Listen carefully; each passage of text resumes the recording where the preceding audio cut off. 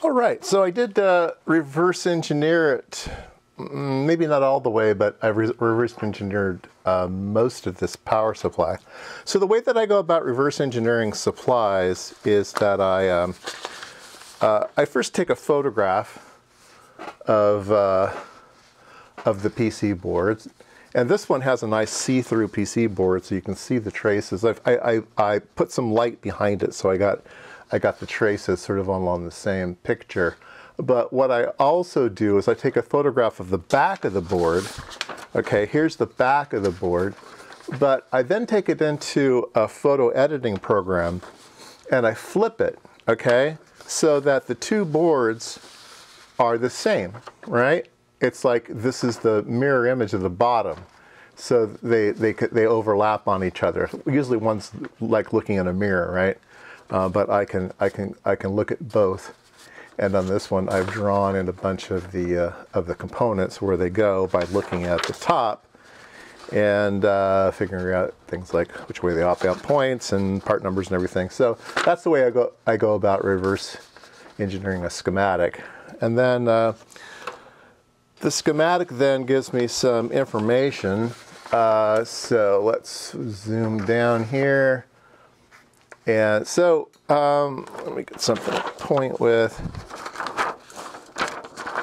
Um, so here's the op amps that, that's going to compare a set voltage with the real voltage uh, measured at the terminal. So here's the terminal, here's the red black terminals.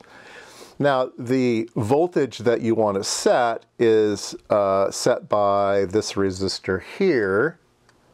Um, and no, it's not that resistor. That's a, that's a calibration resistor. So this, this resistor here goes into some Zener diodes and sets a calibration point. There's two uh, resistors here on the front. One sets voltage and one sets current, all right? So this is the one that sets the, the voltage and it wraps up back and around. That sets the voltage that you want and then uh, the, the measured voltage comes into the other side and does compare. And then uh, if it uh, needs more juice, then the op amp goes high, turns on this transistor. This transistor turns on this transistor, which then is, a, is the TO3 can, and it outputs the, the uh, power on the, on, the, on the output. So this is like a, a Darlington here. Um, and then the current is measured through a 0.5 ohm resistor here.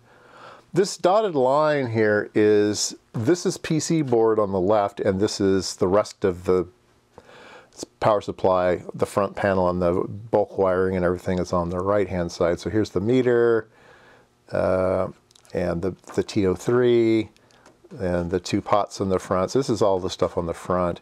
This is the ribbon cable. So the only thing that connects the PC board with the rest of the instrument is that ribbon cable. Yes, that 50 volts at half an amp goes through that little ribbon cable, goes through uh, pins 2 and 4 of the ribbon cable. Um, yeah, anyway, and ground goes through, uh, no, ground goes through pins 2 and 4, and the unregulated voltage goes through pins 5 and, 5 and 10.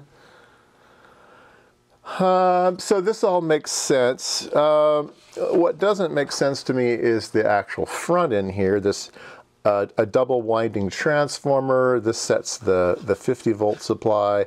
This sets some other supply, which then runs into this really weird circuit here that I have not been able to reverse engineer in my head yet. Uh, it's got tons of Zener diodes. It's got one, two, three, four, five, six Zener diodes all in this one area here. Um, there's a weird chain of, of, of Zener diodes, that one, that one, that one, and that one. If you look at the picture, it's, uh, it's over here. That one, that one, that one, and that one. So what are those? Well, there's a 15 volt, a 5 volt, a 5 volt, and a 5 volt. So, and these three here are just in series. So why didn't they just use a 15 volt and a 15 volt? I don't know.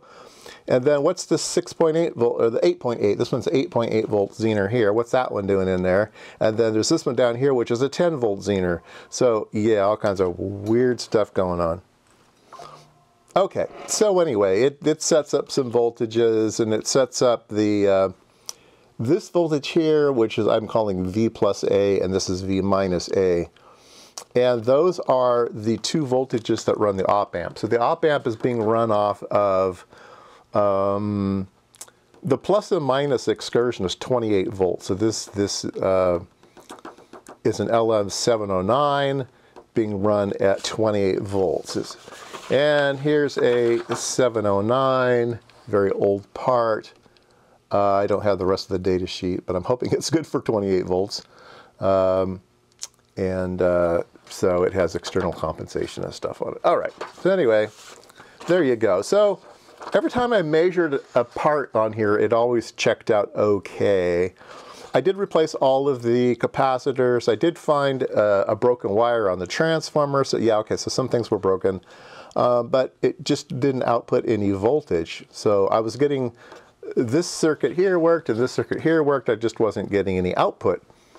Well, so the output of the uh, op amp drives these two transistors to turn on a voltage.